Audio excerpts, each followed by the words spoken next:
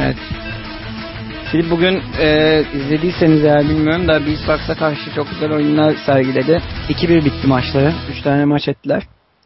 Yok onları seyredemedim. Ben Beeswax'ın e, FT e, maç No Match diye biriyle maçını yayınladım bugün. Ha evet. Güzel bir işte. Ben orada ladder yapıyordum da ondan sonraki işte maçlarını ben sundum. Deniz de sonradan katıldı. Hı hı. E, güzel maçlardı yani. Bakalım şimdi Tayvan'a karşı oynayacak Slip. Deniz'e karşı nasıl bir maç sergileyecek göreceğiz. İkisi de iyi oyuncular. İkisi de B milli takımında. Evet ikisi de oyunda iyiler. Evet, şu Yakın. anda Yakın pozisyonda çıktılar. Bu Evet. e, çabuk e, şeyler görebiliriz, hareketler görebiliriz. bir pause geldi Deniz'den. Herhalde sunuculuktan sonra oyuna tekrardan arış, e, şey yapması. Zorlanmıştır. E, evet.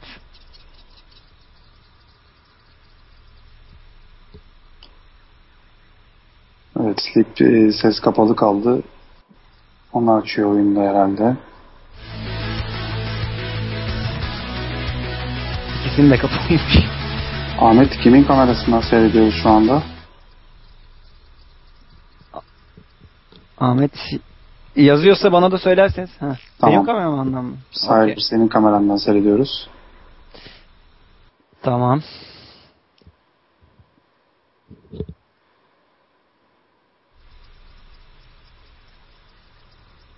Evet şu an hala bekliyoruz. Evet Deniz'de de oyun sesi kapalı kalmış. Tamam Deniz de oyun sesini açıyor.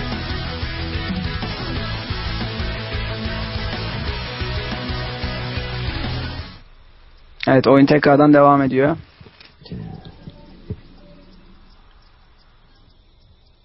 Bakalım. Dediğiniz gibi herhalde erken pushlar gelebilir yani. All in. Erken push. Ya da bilmiyorum yani direkt expansion çıkacaklar mı? Önce bir saldırı görürüz gibime geliyor ya expansion'dan önce. Bakalım aa, nasıl bir build order'la gidecekler. Klasik bir şekilde Deniz kapıyı kapatmaya yönelik hareketle başladı. Evet, Slip de base'ine bir tane pylon attı.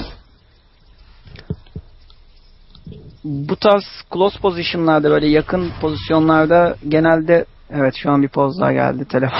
Telefon çalmış. Çok profesyonelce bir Evet arkadaşlar e, Team Liquid'de olsaydık şu anda izleyici sayımız sıfıra düşmüştü. Gerçekten zorlanıyorduk. E, ama işte bu e, tur birden herkes samimi olduğu için birbiriyle lütfen bunu e, ciddiye almayın. Bu tip olaylar yaşayabiliriz. Telefon gibi. evet devam ediyor. Allah'tan çok uzun sürmedi. Herhalde arayan önemsiz birisiydi. Evet herhalde. Birazdan e, her an çay molası verebiliriz. Çay molası, akşam yemeği. Oyunun içinde olması gereken şeyler bunlar zaten canım. Evet, Baraks'la oyuna dönecek olursak rampayı kapatmaya çalışacak herhalde. Evet şu anda öbür SCV'siyle geldi ve ben genelde kendim için evet İki tane CV getirmek e, bayağı bir mining time'ı azalttı C'nin, Deniz'in. E, çok da bilmiyorum yani iki tane aslında çok mantıklı. İki CV getirmeseydi orada Ha, Prob'un şey yapmasını evet engelleyecekti doğru. O da doğru. Şu anda yalnız SCV'sini kaybetmek üzere. bırakıp göndermesi Ve- lazım. diye. Son anda yani vazgeçti. Bu arada ben kendi sesimi duyuyorum. Neden böyle bir problem var anlamadım. Şey mi açık e, sende? Stream mi açık acaba? Steve'im açık değil aslında. Allah Allah.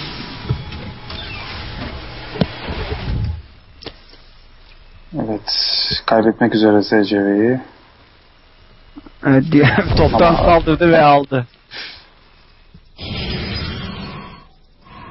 Ses yankısı düzeldi diye tahmin ediyorum ama Ben mikrofondan konuşuyorum. Benden dolayı olacağını düşünmüyorum. Yok ben de mikrofondan konuşuyorum da niye öyle oldu anlamadım. Tam zaten düzelmiş şu anda herhalde. geçici bir teknik problem oldu.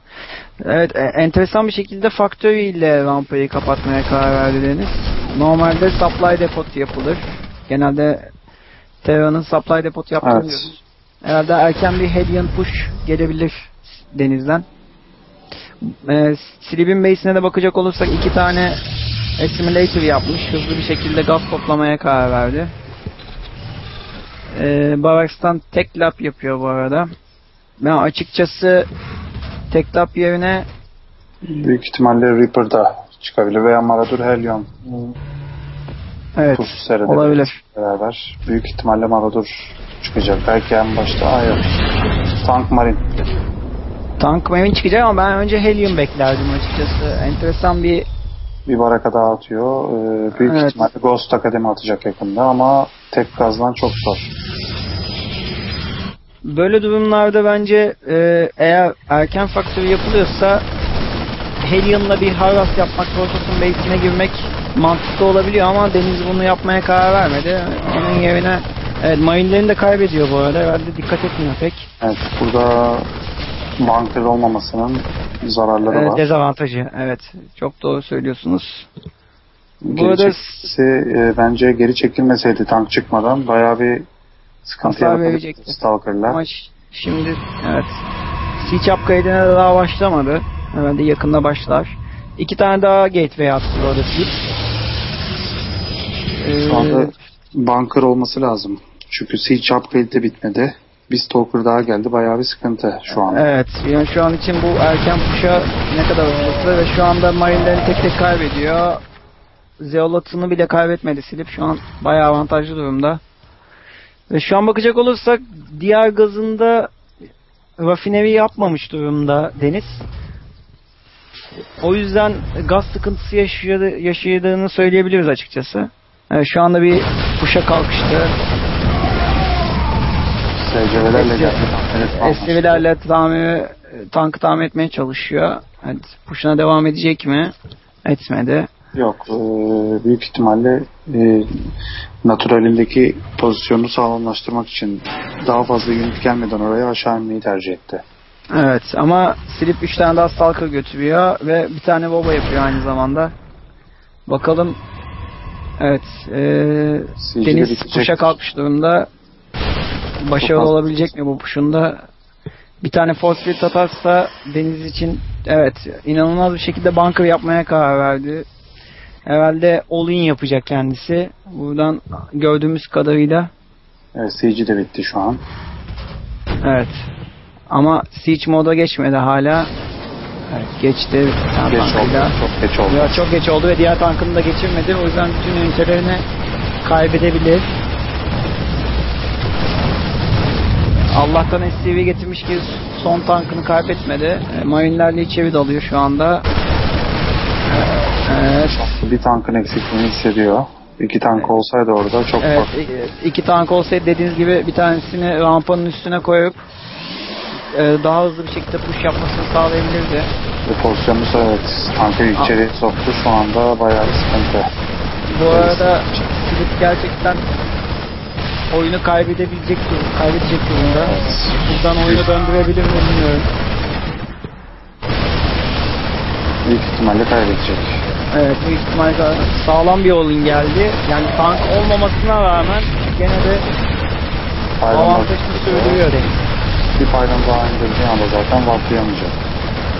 Evet çünkü ünite sıkıntısını yaşayacak. Supply limit olacak. Evet paylan değil. Büyük ihtimalle geriye geliyor birazdan. Birazdan evet dediğiniz gibi şu Olmuyor. anda e, elinden geldiğince saldırmaya çalışıyor Slip Tankı ama anda yakaladı. Bilmiyorum çevirebilir mi bunu? Evet ama tank ölmüyor çünkü esirler çok güzel tahmin ediyor ve oyunun sonu diyebiliriz yani. Eh, Well played geldi GG'den önce. güzel bir O- oyun gördük. Orada benim görüşüm Stalker'ı geri çekmesi, Slip'in oyunda ki bir avantajını geri alması sebep oldu Deniz'in. Çünkü orada geri çekmemesi lazımdı. Sadece bir marini vardı, yarı canı kalmış. Daha da tankı çıkmamıştı. Stalker'la Zealot'u geri çekti. Evet. Ama orada supply depoyu indirmeye gidebilirdi. Ee, bu sefer Evet. supply block olma durumu vardı Deniz'in. bayağı bir zaman kazandıracaktı Sleeve'e ama Bayağı zaman şey kazandıracaktı. yapmadı. Evet. Üniteleri yapmakta çok sıkıntı çekti. Açıkçası e, Terran'a karşı oynarken Protos'un kesinlikle iki, yani en azından 2-3 tane sentry yapması gerekiyor. Force Field çok önemli bir şey. Rampaya orada düzgün bir şekilde force fitle, sport e, denizin içeri girmesine engel olacaktı. Zaten Sentry hiç basmadı. Evet hiç Çok basmadı. önemli bir unit aslında Sentry. Ee, tank Marine'e karşı çok fazla şey yapmak, e, stalker yapmak iyi bir şey değil açıkçası. Yani olabildiğince Sentry ve Zealot. Evet.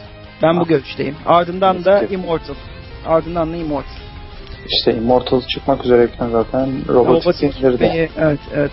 Çok doğru En azından bir tane Immortal olsaydı yana, e, yanında o orduda bir fark yaratabilirdi çünkü yani Mariner gerçi çabuk öldürüyor ama tank en azından arkadan girdiğinde o tankı daha çabuk alabilirdi. SCV'lerin e, repair'inin pek bir anlamı olmayacaktı orada. Evet. Ama güzel bir maç oldu. Evet, güzel bir maç oldu. Deniz aslında çok fazla hata yapmasına rağmen maçı alabildi yani. O da mesela tankları siege moduna çıkarmaması, sadece bir tanesini çıkarması, onu da kaybetmesi. Ben herhalde push'u sonlandıracağını düşünmüştüm e, Sleeve'in ama ona rağmen fazla marine olduğu için kazandı oyunu. Evet, güzeldi. Ee, başka oyun yok herhalde.